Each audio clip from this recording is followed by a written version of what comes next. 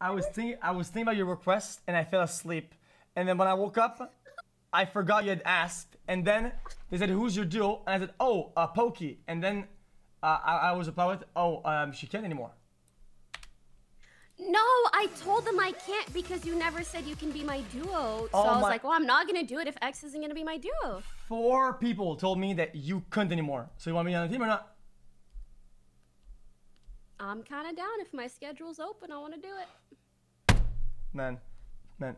Uh, can I be honest with you? Don't take this the wrong way. Yeah. I feel bad for whoever's gonna be your boyfriend one day. What the fuck? H- How how can you talk like this? H- How can you talk? Who said? Who says I can if my schedule align? What the fuck is that? Hello? Well, don't take this the wrong way, but I feel bad for whoever's gonna be your girlfriend one day, or is currently, or whatever in the past, or whatever, because I literally asked you if you wanted to be my duo. You never answered, and now you're holding against me